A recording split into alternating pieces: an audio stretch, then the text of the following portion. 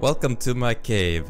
In this cave I'm gonna talk about random programming stories, but we're gonna talk about how I came up with an idea and turn it into an open source project complete with documentation and fancy readme page and all of that stuff. This story isn't mostly about programming, it's about kind of my self-improvement journey because this project is a result of my conscious effort to uh, basically become a better person or more productive person. So having embarked on this self-improvement journey once again, as we all do, I've had a day of productivity working on a project. It's probably one of my recent videos, 3D Cellular Automata. I've been working on that for the whole day and what do you do 9 p.m. Well, you can play video games, you can watch YouTube videos, or you can be productive or read a book, make a new project. I'm not sure about this, but it's probably a bad idea to work a full day on one single project. And motivationally, I don't think that would work. You need something new. That's why you go to YouTube or play video games. It's it's novel. You need something novel. Being more conscious of my decisions over the day, I decided, you know what? I think I have enough energy to do some programming, even though I've been doing that the whole day. I don't know why I had this on my mind, but there's a Unity library called character stats I think. It's a C-sharp library where you can control stats through modifiers, like your attack stat could go up, or if you step in a puddle your movement speed gets slowed. I don't think anyone has done this in Rust before, so there's there's actually a reason for this library to exist. I started working on it, I was pretty productive even though it was later on the day, like 9, 8 pm. But it was an exciting project. Just as exciting as playing a video game or watching a video. I'm a programmer, I find this exciting. Probably you too. This project became my replacement for playing video games or watching videos. And I didn't feel any less happy because of that.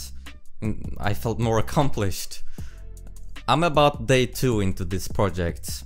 I've actually learned a lot of new things about Rust. I have never used a weak pointer in Rust, ever. I've never dealt with const generics. If you don't know what that is, it's basically... In Rust we can define an array size through a template. I don't think I've seen any other language being able to do this and I wanted to do that for my library. So I learned that, I learned about weak pointers. Overall, it's it's been a great learning project. I think I'm day 3 or 4 on this side quest and and I, am thinking this is looking really good. It's a small library, that's why I've been able to do it so quickly, but I decided, okay, this is actually good enough to release. But what does it look like to release something like this? I want it to look professional. So, um, so day three or four, something like that. I only spent on writing unit tests, which which actually became super useful for when I re rewrote the entire library once. I wrote example code. This is something very common in Rust libraries, which is one reason I love to use Rust, because every library you're gonna use is gonna have a lot of example code. So I wrote that, and if you're gonna release a library, especially in Rust, you should document your code.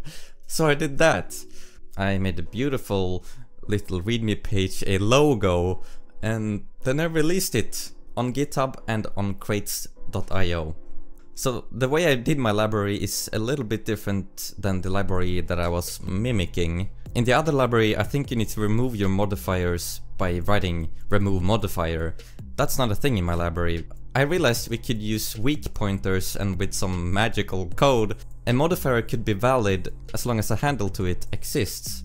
You probably wanna look into this library if you wanna understand what I'm talking about. I based this off an idea that already exists and I changed it a little bit, so I'm not sure if this is practical. Time will tell.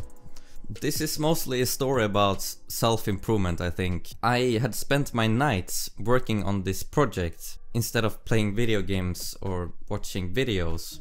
It's not always I have an idea on a project like this to make, but if you have one of those then maybe try doing that instead of wasting your time playing video games instead. So I guess let's talk about self-improvement. It's actually Captain Sinbad, a YouTuber. He recently released a podcast and that alone got me super excited to be more productive exercise more, all of that self-improvement stuff. Then I found, I think his name is something like Hamza. I don't know how long I'm gonna be able to keep this streak up. I've been exercising every day for a week. I spent more time outside, just being still in nature.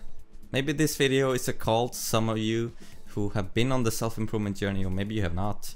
Just a reminder to, hey, do, do the hard stuff. I have not looked once on my phone today. Hooray for me. I've been at it for like one and a half week now. It's amazing how much stuff you could get done if you just sacrifice some comfort in the moment. Anyway, that's my Code Cave rant. I'm not sure how many of these I'm gonna make, but uh, I wanna have something to be more laid back, more chill. Just talking about random programming things, not these highly edited videos. I wanna be more comfortable talking in front of the camera, which is also one reason I'm doing this. So, it's kind of like a mini podcast almost. anyway, see you guys later. Look into self-improvement again if you want, maybe. Probably.